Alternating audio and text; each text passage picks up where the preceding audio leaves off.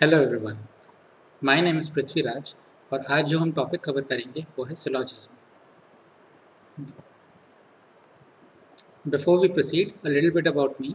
So, i've consistently scored above 99 percentile in all these examinations and i've also cleared SBIPO in 2018 तो पहले हम समझते हैं syllogism होता क्या है. तो as you can see syllogism is derived from two words syn meaning together and logos meaning reason so syllogism basically यही है कि आप डिफरेंट स्टेटमेंट्स को लेते हो, उन्हें एक साथ कंसिडर करते हो और फिर रीजनिंग लगा के आप उनके बारे में कुछ इन्फॉर्मेशन को सही या गलत प्रूव करते हो। ठीक है? इस वीडियो में हम सिलॉजिज्म की जितनी भी टेक्निक्स और ट्रिक्स हैं, वो सारे क्वेश्चंस के थ्रू कवर करेंगे। कुछ इंपॉर्टेंट बेसिक चीज़ें हैं जो आपको ऑलरेडी पता होनी चाहिए which is Venn diagrams okay so Venn Venn diagrams क्या होते हैं? वेन डाइग्राम्स होते हैं जब आपको सिलॉजिज्म के स्टेटमेंट्स को पिक्टोरियली रिप्रेजेंट करना होता है, एक बेसिकली एक पिक्चर की फॉर्म में रिप्रेजेंट करना होता है तो वहाँ पे वेन डायग्राम्स काम होते हैं। तो आपको तीन बेसिक रूल्स पता होने चाहिए वेन डायग्राम के और उसी से आपके सारे क्वेश्चंस पूरे हो जाएँगे। सो रूल वन क्या कहता है? अगर स्टेटमेंट गिवन है ऑल ए इज़ बी तो इसका वेन डायग्राम ऐसे होगा। ए इधर और बी इधर। सो बड़ा वाला सर्कल बी रिप्रेजेंट करता है और स्मॉल सर्कल ए रिप्रेजेंट करता है। और ऑल ए इज़ बी का मतलब है ए जो जितना भी ए है, वो पूरा बी के अंडर आता है। सेकेंड रूल जो आपको पता होना चाहिए सम ए इज़ बी ठीक है? इसको हम ऐसे रिप्रेजेंट करते हैं। A B so left circle A represent करता है राइट सर्कल बी रिप्रेजेंट करता है और सम ए इज़ बी ये पार्ट है जो दोनों के बीच में कॉमन है। ये पार्ट जो मैं शेड कर रहा हूँ, ये रिप्रेजेंट करता है some A is B and third statement जो आपको पता होना चाहिए which is no A is B और इसको ऐसे रिप्रेजेंट करते हैं। ए बी एंड इसके बीच में कोई रिलेशन नहीं। इससे ये रिप्रेजेंट होता है कि ए और बी के बीच में कोई भी कॉमन एलिमेंट्स नहीं अगर आपको ये तीन रूल्स पता हैं और आप इन तीन को क्लियरली रिप्रेजेंट कर सकते हो तो आपको किसी भी क्वेश्चन में कोई प्रॉब्लम नहीं होगी। सो so, हम सारे क्वेश्चन वेन डायग्राम्स के थ्रू सॉल्व करेंगे। एंड वेन डायग्राम्स को सॉल्व करने का एक थ्री स्टेप प्रोसेस है जो मैं फॉलो करता हूँ। और मैं आपसे रिक्वेस्ट करूँगा कि आप भी यही स्टेप प्रोसेस फॉलो करें। ताकि आपके लिए भी इजी रहे और इसके बाद आपको कोई भी क्वेश्चन में डाउट नहीं होगी। सो so, क्या है three step process first read and process statements second make Venn diagram. And finally third evaluate the conclusions. अभी लिख दिया। अब इनका मतलब क्या है? तो बेसिकली जब भी आप क्वेश्चन पढ़ें सबसे पहले सिर्फ़ स्टेटमेंट्स को कंसिडर करें। जो स्टेटमेंट्स प्रेमाइज प्रोपोजिशन जो भी आप कहते हैं सिर्फ़ उसको रीड करें। सो so, आपको अभी सिर्फ़ रीड करना है। All cashews are almond some cashews are so आपको इसे याद नहीं रखना है बट आपको थोड़ा आइडिया हो जाएगा जब आप इसे ध्यान से पढ़ेंगे कि क्वेश्चन एक्चुअली क्या क्या है। सेकेंड स्टेप है फिर आप एक वेन डाइग्राम बनाएँ। ठीक है अब हम करते हैं। तो अब ये कह रहा है ऑल कैशूज आर एलिमेंट्स ठीक है तो हमने ऑल ए इज़ बी का पढ़ा था कैसे बनाते हैं? सो so, ये अगर हो गया कैशू तो ये हो जाएगा एलमेंट ठीक है एंड इसमें दे रखा है some cashews are apples some cashews are apples ठीक है. अब एक डाउट जो लोगों के मन में ऑब्वियसली आए, आएगा, या आ सकता है कि आपने ये डायग्राम क्यों नहीं बनाया? This is cashew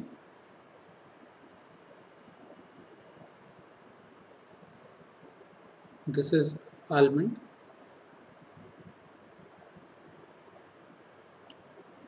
और सम कैशूज आर एप्पल्स तो ये हो गया एप्पल्स सो so, अगर मैं आपसे पूछूँ कि रेड वाला डायग्राम सही होगा या ब्लू वाला डायग्राम सही होगा तो आपका क्या आंसर होगा?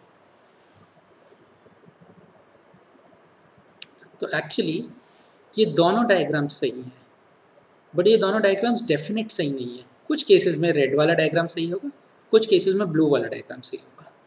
तो इसलिए आपको जब क्वेश्चन सॉल्व करेंगे आपको दोनों याद रखने हैं. ज़रूरी नहीं कि आप दोनों बनाएँ बट आपको मेंटली एक आइडिया होना चाहिए कि हाँ ये डायग्राम भी एग्जिस्ट करता है। एंड अभी इसमें दो ही दो ही केसेस हैं। आगे जाके आपके पास क्वेश्चन आएँगे, जिसमें मल्टीपल केसेस बनेंगे। तो आप हर एक के लिए हमेशा केसेस बनाते हुए नहीं रहेंगे। आपको बस याद रखना है मेंटली कि क्या क्या पॉसिबल केसेस हो सकते हैं और कहाँ कहाँ उन्हें यूज़ करा जाएगा। ठीक है?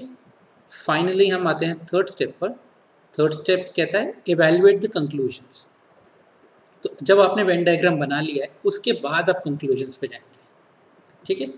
और अब आप कंक्लूजन्स को एक एक करके पढ़ेंगे। सो फ़र्स्ट कंक्लूजन क्या कहता है? ऑल एप्पल्स आर आलमंड्स सारे एप्पल्स आलमंड्स हैं। तो आप देखेंगे फ़र्स्ट वाले केस में कुछ एप्पल्स हैं जो आलमंड्स नहीं हैं। ये वाला जो पार्ट है, ये आलमंड नहीं है। सेकेंड वाले केस में सारे हैं।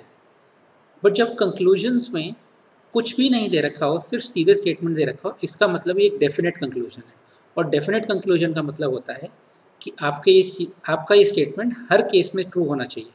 बट जब रेड वाला केस जो है, उसके अंदर तो ये ट्रू नहीं है all apples are not almonds तो इसलिए ये कंक्लूजन गलत होगा। Conclusion one is incorrect conclusion two कहता है सम एलमेंट्स आर एप्पल्स तो अब हम चेक करेंगे।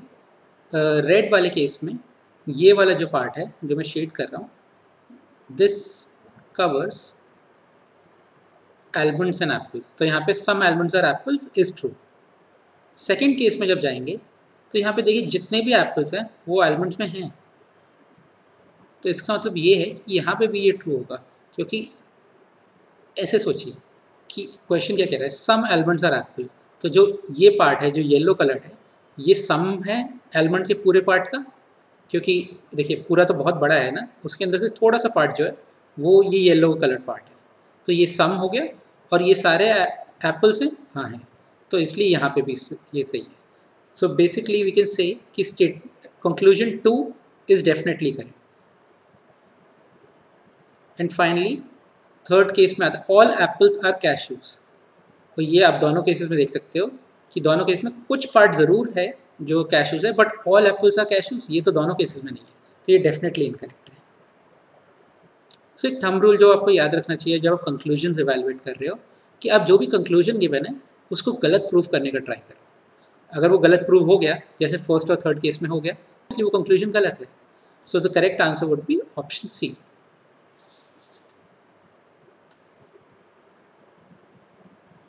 I hope यहाँ तक सबको सब कुछ क्लियर है। अगर किसी को कोई डाउट है तो आप प्लीज़ कमेंट कर सकते हैं। क्वेश्चन टू पर आते हैं। फिर से हम अपना वही थ्री स्टेप प्रोसेस यूज़ करेंगे। सबसे पहले only read the statements in process no ball is bat ठीक है? All bats are glove some gloves are socks ठीक है? मुझे मेंटली थोड़ा बहुत आइडिया हो गया कि मुझे क्या बनाना है। अब मैं वेन डाइग्राम बनाऊँगा। No ball is bat okay तो ये हो गया बॉल ये हो गया bat and no ball is bat तो इसके इधर क्रॉस इनके बीच में कोई कनेक्शन नहीं। ठीक है? All bats are gloves okay तो ये हो गया glove and finally some gloves are socks ये हो गया सॉक्स ठीक है। अब मेरा Venn diagram basic Venn diagram बन गया। ऑब्वियसली इसके अभी पॉसिबल केसेस होंगे बहुत सारे, जो हम देखेंगे बाद में। बट हमारे पास एक बेसिक वेन डायग्राम है, जिससे हम क्वेश्चन के सॉल्व कर सकते हैं। तो जैसे फ़र्स्ट कंक्लूजन पढ़ेंगे तो यहाँ पे वर्ड गिवन है possibility so possibility possible cases अगर ये वर्ड कहीं भी गिवन है तो इसका बेसिकली मतलब ये है कि अगर ये स्टेटमेंट एक भी केस के लिए ट्रू है तो आपका ये कंक्लूजन सही है। तो जैसे हम पिछले केसेस में पढ़ रहे थे जहाँ पे हमें हर केस के लिए चेक करना था तो इसमें और इजी हो जाता है। अब आपको सिर्फ़ एक केस के लिए चेक करना है। अगर किसी भी एक केस के लिए सही हो तो कंक्लूजन सही है, वरना गलत है। ठीक है? तो अब करते हैं। अब जैसे इसमें दे रखा है some balls are not gloves is a possibility अब आप इसमें देख सकते हैं, हमारे इसी वेन डायग्राम में you can see there are balls जो ग्लव्स नहीं हैं। बॉल्स हमने इधर बना रखा है एंड ग्लव्स इधर बना रखे हैं तो ये जो ग्रीन वाला एरिया है, ये तो पूरा ही नहीं है। तो इसलिए of statement one is definitely correct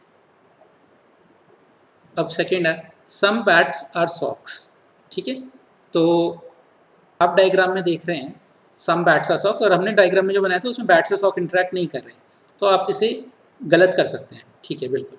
but अगर इधर ये होता some bats are socks is a possibility जैसे उसमें दे रखा है। तो ये ट्रू होता है, क्योंकि ये डायग्राम ऐसे भी बन सकता है। बॉल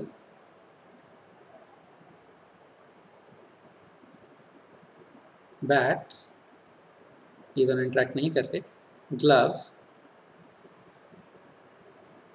एंड सॉक्स एंड अब आप देखेंगे, ये जो पार्ट है, ये तो इंट्रैक्ट कर रहा है ना? तो बॉल्स और सॉक्स के बीच में एक कॉमन एरिया है। सॉरी बैट्स और सॉक्स के बीच में एक कॉमन एरिया है।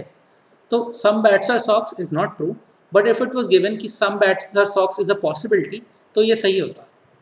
ठीक है? तो हमेशा याद रखिए कि जस्ट बिकॉज़ आपको वेन डायग्राम से जो दिख रहा है, वो सही है। वो आपको वेन डायग्राम से एक केस दिख रहा है, आप उसके बेसिस पे अगर टिक करते हैं तो वो कई कई केसेस में आपके अगेंस्ट जा सकता है और आप क्वेश्चन गलत कर सकते हैं।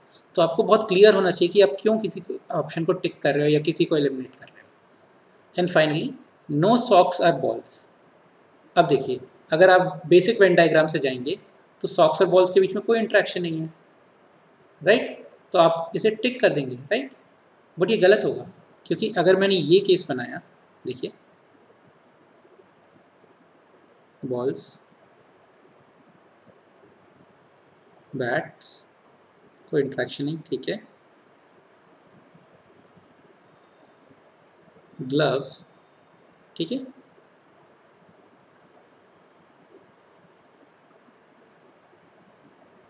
सॉक्स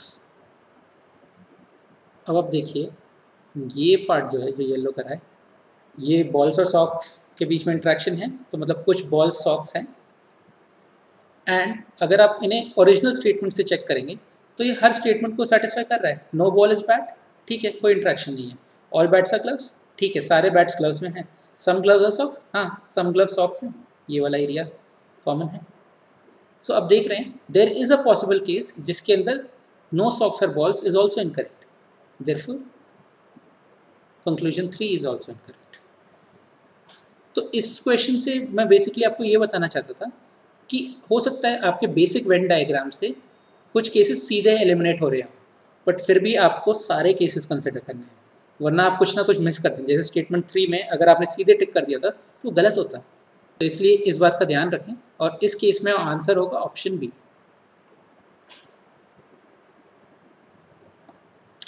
क्वेश्चन थ्री पढ़ते हैं। सब सी फिर से वही प्रोसेस फॉलो करेंगे। सबसे पहले हम स्टेटमेंट रीड करेंगे। Some cars are scooters some scooters are cycles some cycles are trucks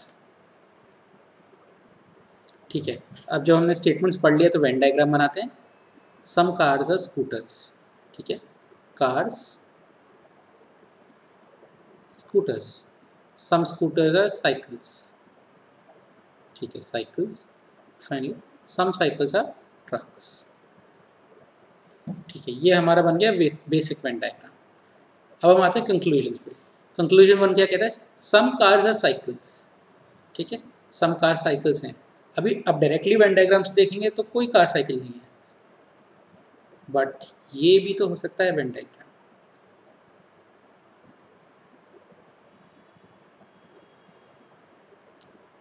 अगर ये कार है, ये स्कूटर है, ये साइकिल है, ये ट्रक है। देख लीजिए, सारे स्टेटमेंट सभी वैलिड हैं। सम कार्स आर स्कूटर्स हाँ ये वाला एरिया है। सम स्कूटर्स साइकिल्स हाँ ये वाला एरिया है।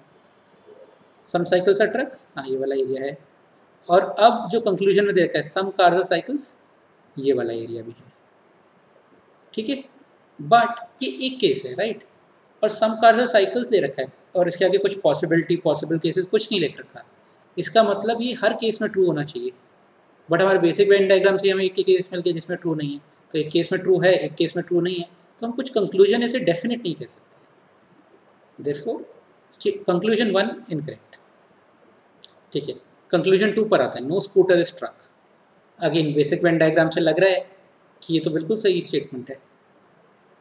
बट फिर से मैं एक और पॉसिबल केस बनाता हूँ। कार्स स्कूटर्स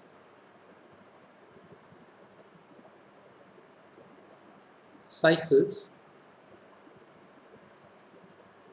ट्रक्स अब देखिए तीनों स्टेटमेंट जो है सम कार्स स्कूटर्स हाँ बिल्कुल सही है। सम स्कूटर्स और साइकिल्स हाँ ये भी सही है, ये वाला एरिया है। सम साइकिल्स और ट्रक्स हाँ ये वाला एरिया है उसके लिए भी। No scooter is truck but ये जो एरिया है, जो मैं ग्रीन कलर कर रहा हूँ, इधर तो स्कूटर्स आर ट्रक्स तो ये तो आपका स्टेटमेंट वायलेट कर रहा है कंक्लूजन वायलेट कर रहा है स्टेटमेंट नहीं कंक्लूजन वायलेट कर रहा है। मतलब आपने बेसिकली प्रूव कर दिया, एक केस जिसमें कंक्लूजन सही नहीं है अगर एक भी केस में सही नहीं है और यहाँ पे कोई पॉसिबिलिटी तो दे नहीं रखी है तो ये पूरा कंक्लूजन ही गलत होगा। Therefore statement two conclusion two is also therefore conclusion two is also incorrect अब थर्ड कंक्लूजन पर आते हैं। ऑल साइकिल्स आर कार्स तब ये तो आप डायरेक्टली देख सकते हैं, किसी भी केस में साइक सारी साइकिल्स कार्स हो जाए, ऐसा तो कोई स्टेट हमारा हमने अभी बनाया ही नहीं है। और हो सकता है एक पॉसिबल केस को बन भी जाए तो भी हमारे पास ऑलरेडी इतने केसेस हैं जिसमें ये गलत हो ही रहा है। तो आपको बनाने की ज़रूरत ही नहीं है। आप यहीं पे सीधे से इनकरेक्ट कर सकते हैं। तो अब हम इसे थोड़ा समराइज़ करते हैं, ठीक है? तो दो पॉसिबल केसेस होंगे।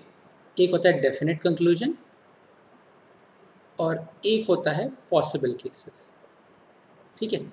तो अगर आपको डेफिनेट कंक्लूजन चेक करना है, आपने अपना कंक्लूजन इवेलुएट करा और जो कंक्लूजन है, वो बेसिक वेन डायग्राम से आपको एक केस पता है जिसमें वो सही है। अगर पहला केस सही है तो चेक फर्दर ठीक है? और केसेस ढूंढिए। हर केस के लिए उसे ट्रू करने की कोशिश करिए। और अगर हर केस के लिए वो ट्रू हो जाता है तो वो डेफिनेट कंक्लूजन सही है। अगर वो एक भी केस के लिए गलत होता है तो वो डेफिनेट कंक्लूजन फॉल्स है। अगर आपका पहले केस में वो गलत हो जाता है तो आगे चेक करने की कोई ज़रूरत नहीं है, वो फॉल्स ही रहेगा। ठीक है? तो जैसे हमने देखा कंक्लूजन थ्री के अंदर all cycle are cars basic diagram से ही पता चल रहा है कि गलत है। आगे देखने की ज़रूरत ही नहीं है। ठीक है? बट अगर आपके स्टेट आपके कंक्लूजन में पॉसिबिलिटी या पॉसिबल केसेस मैंशन है तो स्टोरी बिल्कुल उल्टी हो जाती है। अगर एक भी स्टेटमेंट सही है तो बिल्कुल आगे चेक करने की कोई ज़रूरत नहीं। आपकी पॉसिबिलिटी बिल्कुल सही है। बट अगर आपके पहला ही आपका वेन डायग्राम से जो केस दिख रहा है आपको एक केस मिलता है, जिसके अंदर वो गलत है तो आपको आगे चेक करना होगा। चेक फर्दर आपको हो सकता है एक केस हो जो आपने कंसिडर नहीं करा हो, जिसके अंदर वो पॉसिबिलिटी वैलिड हो रही हो। तो ठीक है, आपको बस ये याद रखने और इससे आपको आइडिया हो जाएगा कि आपको कब पॉसिबल केसेस चेक करने हैं, कब आप आगे बढ़ सकते हैं, कैसे आप टाइम सेव कर सकते हैं क्वेश्चन आई होप आप सब कुछ सब कुछ क्लियर है। अगर कोई डाउट है किसी को तो आप कमेंट सेक्शन में अभी भी टाइप कर सकते हैं। नेक्स्ट क्वेश्चन पे आने से पहले थोड़ा सा थियोरी पढ़ते हैं। हमने पहली स्लाइड पे पढ़ा था सम ए इज़ बी का वेन डायग्राम क्या होता है? तो अब हम पढ़ते हैं some A is not B अगर दे रखा हो। Some A is not B ठीक है? तो इसका डायग्राम भी बिल्कुल सिमिलर होता है ए बी बट इस केस में क्या होता है? कि ये वाला जो पार्ट है, जो मैं येलो कर रहा हूँ अभी येलो पार्ट जो है वो रिप्रेजेंट करता है some A is not B और ग्रीन पार्ट जो है वो रिप्रेजेंट करता है some A is B diagram दोनों का सेम होगा बट अगर कोई आपसे पूछे कि क्या रिप्रेजेंट कौन सा पार्ट रिप्रेजेंट करता है इसको तो yellow part represent some A is not B and sum a is b is represented by the green part बस ये याद रखना है आपको। और ये क्वेश्चन सॉल्व हो जाएँगे। अब वापस आते हैं क्वेश्चन पे। अपना थ्री स्टेप प्रोसेस स्टार्ट करते हैं फिर से। Statement some leaves are not fruits all fruits are mangoes no mango is a pear तो अब इसका वेन डायग्राम बनाते हैं। Some leaves are not fruits ठीक है। ये है लीव्स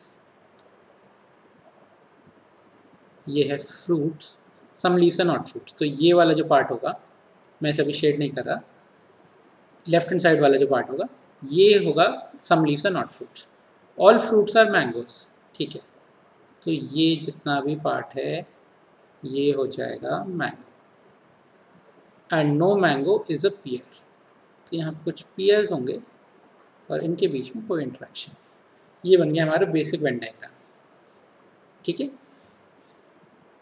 ठीक है, अब हमारा वेन डायग्राम बन चुका है तो हम कंक्लूजन्स को एवेलुएट करते हैं ठीक है? कंक्लूजन वन क्या कहता है? सम फ्रूट्स आर पियर्स अब इसमें दे रखा है कि ऑल फ्रूट्स आर मैंगोज मतलब जितने भी फ्रूट्स हैं, वो मैंगो के अंडर आ रहे हैं। ये हमें दिख रहा है। जितने भी फ्रूट्स हैं, ये वाले जो पार्ट है, ये मैंगो के अंडर आ रहा है राइट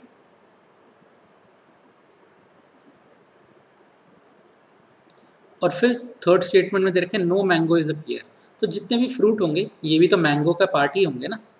तो ये सारे भी मैंगो हैं और कोई भी मैंगो पियर नहीं है। तो सम फ्रूट्स आर पियर नहीं। This is definitely not true ऐसा कोई भी फ्रूट नहीं होगा जो पियर का पार्ट होगा, क्योंकि वो मैंगो का ही पार्ट नहीं है। ठीक है। कंक्लूजन वन हो गया। कंक्लूजन टू पर आते हैं। कंक्लूजन टू में दे रखा है। Some leaves are pears is a possibility अब आप बेसिक डायग्राम से देखेंगे तो लीव्स और पियर्स के बीच में कोई इंट्रैक्शन नहीं हो रहा है। राइट बट हमने पिछले क्वेश्चन में क्या देखा था? अभी हम जाते हैं पिछले क्वेश्चन पे। जब भी पॉसिबल मैंशनड हो, जो कि इधर मैंशनड है तो अगर आपका फ़र्स्ट केस गलत आता है तो आपको और चेक करना होगा। तो हम ऐसा केस ढूँढने की कोशिश करेंगे, जहाँ leaves are pears is a possibility ये ट्रू होल्ड करेगा। तो देखिए, अगर आप इसे ऐसे बनाएँ leaves fruits mangoes and pears इस साइड है। ठीक है? अब क्या हो रहा है? ग्रीन वाला पार्ट जो है, ये पॉसिबल केस है, जिसमें सम लीव्स आर पियर्स और बाकी सारे स्टेटमेंट्स जो गिवन है leaves are not fruits all fruits are mangoes no mango is pear ये सब भी सेटिस्फाई कर रहे हैं। तो हमें मिला ना एक केस जिसके अंदर ये पॉसिबल है। So conclusion two is true ये बिल्कुल सही है।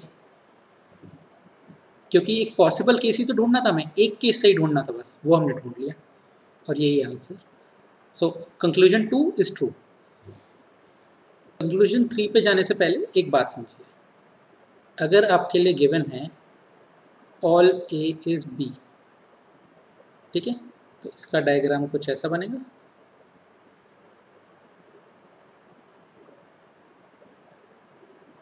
ठीक है?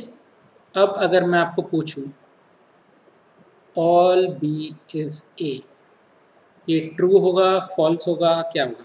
अगर आपको मुझे बताना हो क्या होगा ये? आप कमेंट uh, सेक्शन में अपना आंसर लिख सकते हैं। राइट सो so, यहाँ पे समझिए क्या कहना चाहता है। ऑल ए इज़ बी का आपको पता है वेन डायग्राम ये होता है।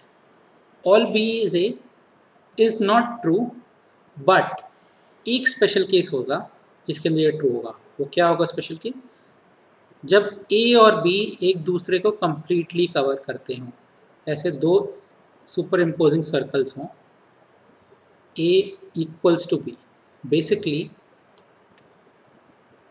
इसको आप ऐसे समझ सकते हैं कि ए और बी ऐसे दो सेट्स हैं, जिसमें हर एलिमेंट दूसरे में भी प्रेजेंट है। इसका एलिमेंट इससे लिंक्ड इससे लिंक्ड इससे लिंक्ड सारे एलिमेंट्स इसके जो है वो लिंक्ड है। तो बेसिकली दोनों सेम सेट्स हैं। बट ये सिर्फ़ एक पॉसिबल केस है जिसमें इट होगा। तो all B is A is incorrect but अगर आपको ये गिवन हो all B is A is a possibility तो ये स्टेटमेंट बिल्कुल सही है। आपको कभी गिवन हो ऑल ए इज़ बी तो बताइए all B is A true या फॉल्स तो correct answer is all B is A is true if it's a possibility if it's a definite conclusion it's incorrect तो बस ये आपको याद रखना है। अब यही हम यूज़ करेंगे। स्टेटमेंट में दे रखा है ऑल फ्रूट्स आर मैंगोज और कंक्लूजन में क्या दे रखा है? All mangoes are fruits is a possibility तो ये बिल्कुल सही होगा, जैसा हमने अभी एक्सप्लेन करा है। So there four statement three भी सही है। So the correct answer would be both two and three option A answer होगा। आई होप ये क्लियर है सबको। अगर कोई डाउट है तो आप पूछ सकते हैं। चलिए, फिर आगे बढ़ते हैं। स्टेटमेंट्स पढ़ते हैं all pigeons are birds some birds are black all blacks are books ठीक है, अब इसका वेन डायग्राम बनाते हैं। ये हो गया हमारे pigeons all pigeons are birds ठीक है some birds are black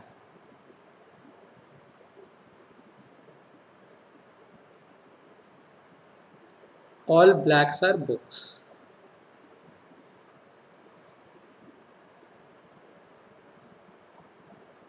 ठीक है? ये हमारा बन गया बेसिक वेन डायग्राम ठीक है? इसके और बहुत सारे केसेस होंगे, वो हम जैसे कंक्लूजन आएँगे, ऐसे कवर करेंगे. ठीक है? अब हम कंक्लूजन्स पर आते हैं. पहला कंक्लूजन क्या कहता है? सम बुक्स आर बर्ड्स ठीक है? तो अब ध्यान से देखिए. Some birds are black given है right some birds are black कौन सा एरिया है ये वाला है। अब मुझे एक बात बताइए स्टेटमेंट थ्री क्या कहता है? ऑल ब्लैक्स आर बुक्स मतलब जितने भी ब्लैक होंगे, वो सारे बुक्स भी होंगे।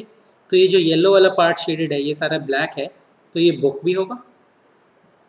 राइट तो ये जो येलो वाला पार्ट है, इसको मैं और शेड कर रहा हूँ। ये ब्लैक है तो ये बुक भी होगा। और ये पार्ट बर्ड है, ये तो हमें पहले ही पता था। तो some books are birds is also true her case में ट्रू होगा क्योंकि हर केस के अंदर क्योंकि ये जो स्टेट ये जो कंक्लूजन हम ड्रॉ कर रहे हैं, ये हम इस वेन डायग्राम से नहीं कर रहे हैं। ये हम इन दोनों स्टेटमेंट से कर रहे हैं। ठीक है? तो इसको आप किसी भी शेप में बना के देख लीजिए। आप ट्राई कर सकते हैं अलग अलग केसेस बनाने के। कुछ पार्ट हमेशा होगा जिसमें some books are birds will be true तो ये स्टेटमेंट सही है। ठीक है? सेकंड स्टेटमेंट क्या कहता है? सम बर्ड्स आर पिजन्स ठीक है? अब इसके लिए एक थियोरी समझिए। अगर आपको गिवन है ऑल ए इज़ बी इसका मतलब इसको ऐसे बना सकते हैं। ए बी और मैं आपसे पूछूँ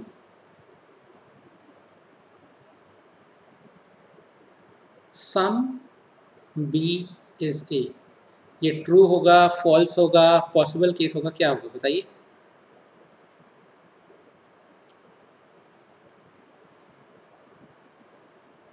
ठीक है, समझिए। ये हर केस में ट्रू होगा, और ट्रू क्यों होगा, ये जानते हैं। देखिए, ये जो एरिया है, जो मैं ग्रीन कर रहा हूँ, ये पूरा ए है राइट और ये बी का थोड़ा सा पार्ट है। तो it is some part of B and it is A ठीक है? तो हर केस के अंदर कुछ पार्ट ऑफ़ बी जो है, वो तो ए होगा ही होगा ना? ये हमें पता है कि ऑल ए इज़ बी का मतलब क्या होता है कि ए जो है वो पूरा, वो बी का थोड़ा सा पार्ट होता है। तो इसका मतलब ये भी तो कह सकते हैं कि बी का थोड़ा सा पार्ट जो है वो ए है। वही तो कह रहे हैं सम बी इज़ ए तो दिस इज़ ऑलवेज ट्रू तो हमेशा याद रखिए if it's given all A is B then some B is A is also true तो क्योंकि स्टेटमेंट में दे रखा है ऑल पिजन्स आर बर्ड तो सम बर्ड्स आर पिजन जो कंक्लूजन टू है, ये भी हमेशा ट्रू होगा। ठीक है? अब थर्ड केस पे आते हैं नो पिजन्स आर बुक्स ठीक है? बट हमारे बेसिक वायन डायग्राम में अगर आप देखेंगे तो ये जो पहला ही केस है, इसके अंदर ये है ना, ये वाला जो एरिया है इधर पिजन्स और बुक्स इंटरेक्ट कर रहे हैं तो ये तो पहले ही केस में गलत हो गया।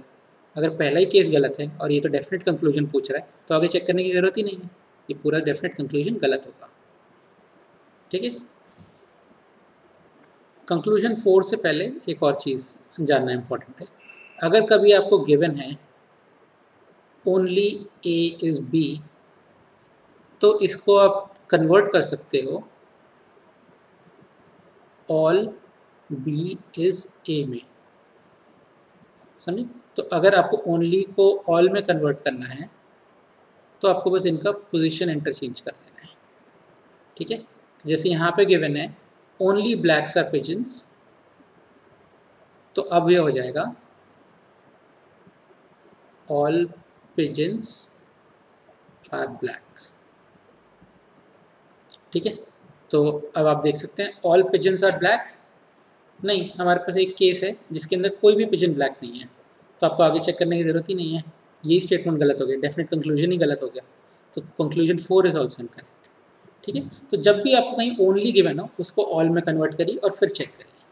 ठीक है? तो अब वन और टू सही होने चाहिए। क्या कोई ऑप्शन है? कोई ऑप्शन नहीं है। तो आंसर होगा आपका option E none of these so इन सब क्वेश्चंस के लिए आपको वही हमारा जो थ्री स्टेप प्रोसेस है, उसको याद रखिए। और आपके सारे क्वेश्चन ईजिली सॉल्व हो जाएँगे। क्या था three step process read the statements make a Venn diagram and evaluate the conclusions ठीक है? इन तीन चीज़ों को याद रखिए और इसी ऑर्डर में करिए और आपका कोई क्वेश्चन कभी गलत नहीं होगा। सेशन को हम हम यहीं रोकते हैं। अब हम अगले सेशन में और क्वेश्चंस डिस्कस करेंगे, थोड़े और नए कंसेप्ट डिस्कस करेंगे।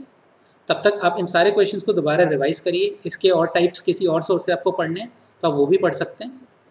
एंड फिर हम नेक्स्ट क्लास में इसे आगे कंटिन्यू करते हैं। That's it for this session thank you